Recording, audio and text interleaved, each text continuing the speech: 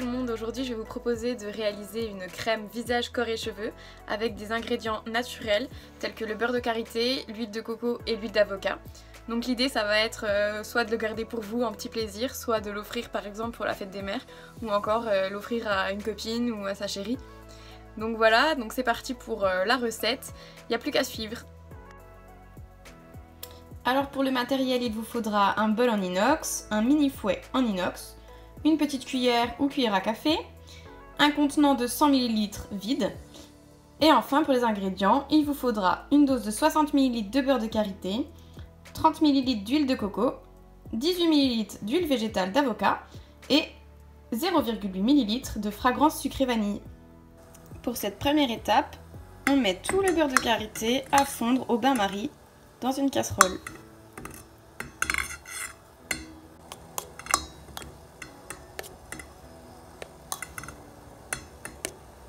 Ensuite, on retire du feu et on ajoute l'huile de coco, puis l'huile d'avocat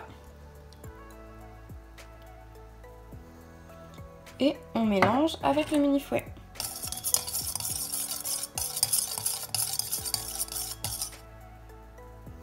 Puis on ajoute la fragrance de sucre vanille.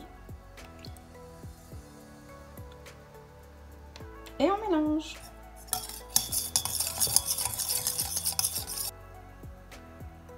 C'est parti pour 10 minutes au congélateur. Alors après 10 minutes, ça commence à s'opacifier un peu sur les côtés.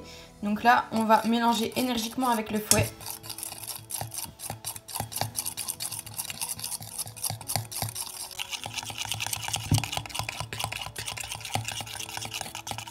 Et une fois qu'on a bien mélangé, on remet pour 10 minutes au congélateur.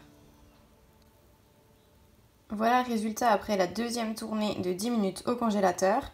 Donc maintenant, vous allez mélanger énergiquement et obtenir une pâte sans grumeaux qui sera blanche et onctueuse. C'est parti Pour plus de facilité, vous pouvez prendre une petite cuillère.